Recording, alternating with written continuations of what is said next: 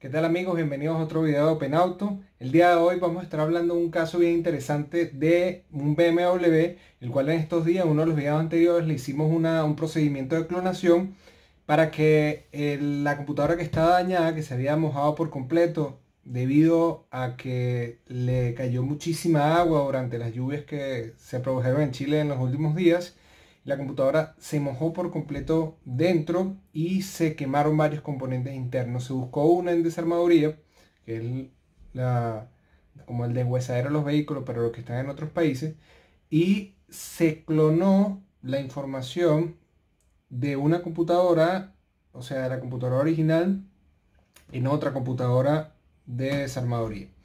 El vehículo funcionó, encendió perfectamente, pero se encontró un problema de que la bobina de encendido número 2 no estaba trabajando. Entonces, nosotros le hicimos un diagnóstico rápido para determinar cuáles eran las causas y miren el procedimiento que realizamos.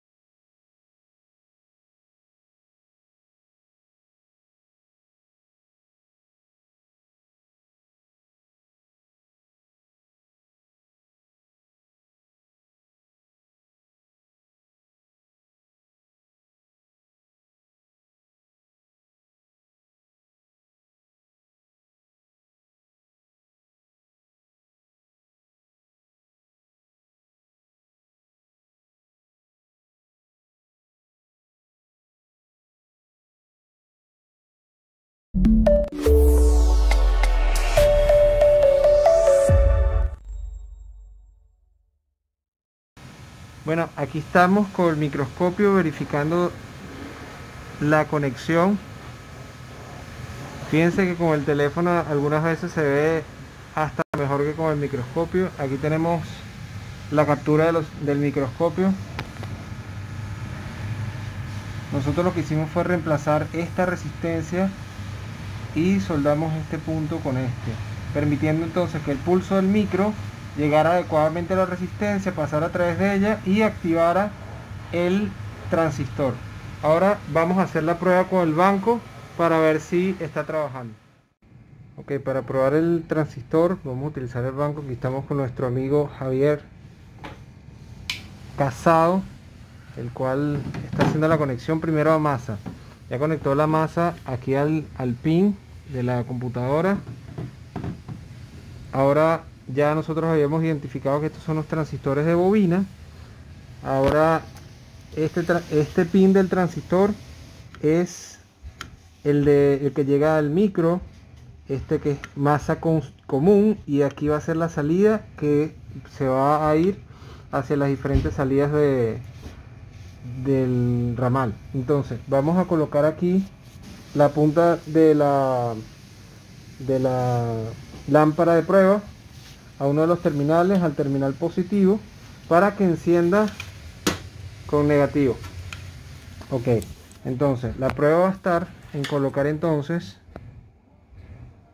a la salida de cada transistor y activarla con 5 voltios en Bueno, estimados, como vieron, primero hicimos el diagnóstico y esa resistencia que llegaba al, terminal de activación este, estaba dañada.